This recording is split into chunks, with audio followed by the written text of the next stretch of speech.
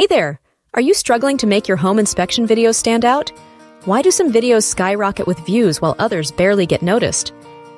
You might be missing one crucial piece of the puzzle your target audience.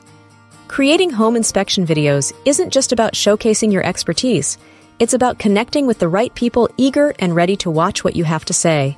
So, how do you do that? Let's dive in. Step 1 Analyze your current clients. Who loves your service? Are they young families, commercial property investors, or real estate professionals? Understanding who already values your expertise sets the stage for those who will likely watch and appreciate your videos. Next up, research online behavior. You need to understand what people are searching for, which home inspection topics are hot. This insight helps you craft informative, super relevant, and engaging videos. Step 3 Conduct surveys and interviews. Get direct feedback from your viewers. Ask what they want to learn, their concerns, and what kind of content they find most helpful. Are you ready to level up your home inspection video game and connect with your audience? We're here to help.